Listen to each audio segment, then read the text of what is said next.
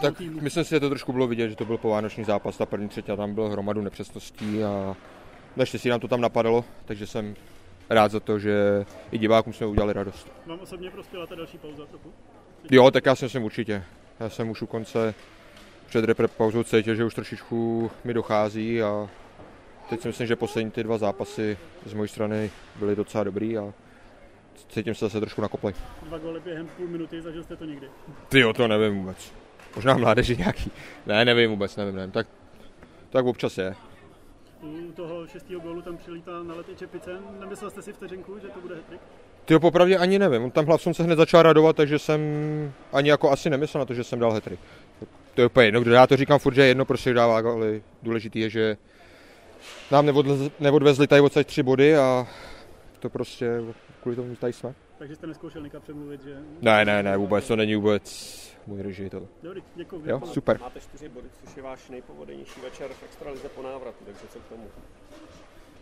Tak máme tři body hlavně jako tým, to si myslím prostě, že je důležitý. A jestli mám čtyři body já nebo někdo jiný, je prostě jedno důležitý, je, že jsme vyhráli. Přesto jak cítíte vlastně tu extraligu v porovnání s NHL, jak to pro vás teda, jak to pro vás je, jak to vnímáte?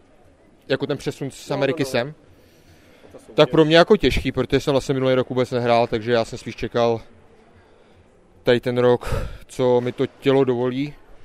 A už bylo vidět trošičku, že vlastně před tou reprepauzou už tam úplně nebyl ten drive, už to nebylo úplně ono. A doufám, že jsem to zpátky na kop během těch 14 dnů snad, co jsme měli pauzu, co jsme měli čas na trénování, tak doufám, že to tak bude. Je zpátky zase ta ofenzivní mašina, protože po měsíci jste dali 6 gólů.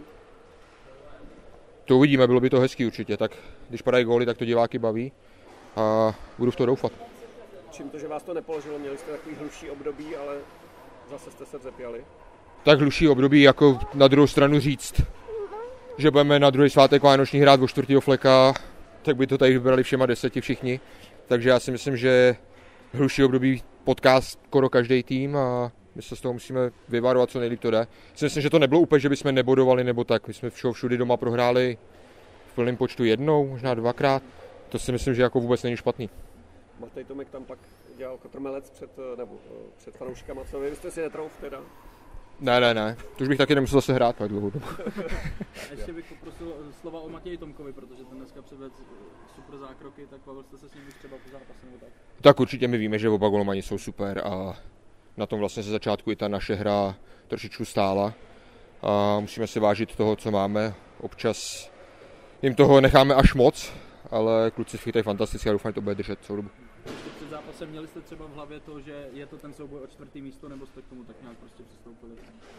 Tak řeklo se to tam, ale popravdě já hraju každý zápas na 100-110% a jedno, jestli hrajeme proti prvnímu nebo poslednímu, takže si tak.